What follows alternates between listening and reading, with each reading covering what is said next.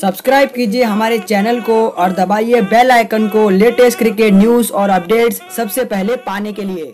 नमस्कार दोस्तों, स्वागत है आप सभी का एक और नए और इंटरेस्टिंग वीडियो में। दोस्तों आईपीएल 2019 में जो है, हम सभी को बहुत बड़े बड़े बदलाव देखने को मिल सकते हैं और उसमें से जो है, एक बदलाव हो सकता है, वो है ड्यूल जर्सी को लेके। यानी कि दो अलग अलग रंग की जर्सी जो है, वो एक टीम पहन के मैदान में उतर सकती है।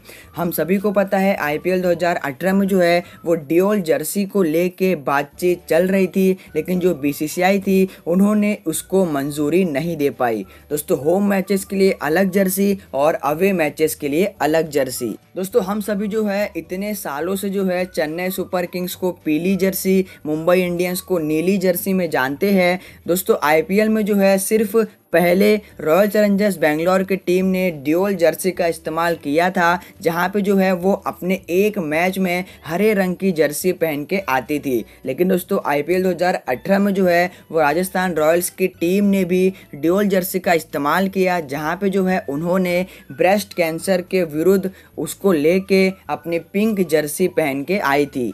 दोस्तों, अभी तक के आईपीएल इतिहास में जो है सिर्फ़ रॉयल चैलेंजर्स बेंगलोर और राजस्थान रॉयल्स की टीम ने ड्यूल जर्सी का इस्तेमाल किया है, जहाँ पे जो है ब्रेस्ट कैंसर और ग्रीन इन्वायरमेंट के विरुद्ध में किया था। दोस्तों, देखते हैं अभी आने वाले टाइम में अगर कोई दूसरी टीम ड्यूल जर्सी का इस्तेमाल करती है, तब दोस्तों जो बीसीसीआई है, वो ड्यूल जर्सी को लेके थोड़ा बहुत सोच सकती है और इसको जो है मैंडेंट्री या फिर कंपलसरी कर सकती है।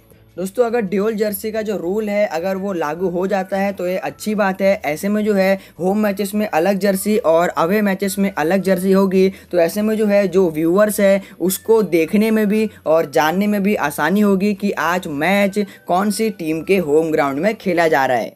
दोस्तों, क्या आप सभी के हिसाब से ड्योल जर्सी को आईपीएल 2019 में लागू करना चाहिए कि नहीं करना चाहिए? अपने सभी विचार बताओ नीचे कमेंट करके। फ़िलहाल के लिए इस वीडियो में इतना ही। वीडियो पसंद आए तो लाइक कीजिए, शेयर कीजिए। अगर आपने अभी तक सब्सक्राइब नहीं किया है, जल्दी सब्सक्राइब भी कर लीजिए। तब तक के लिए हँसते रहिए, मुस्कुराते रहिए और क्रिकेट खेलते रहिए।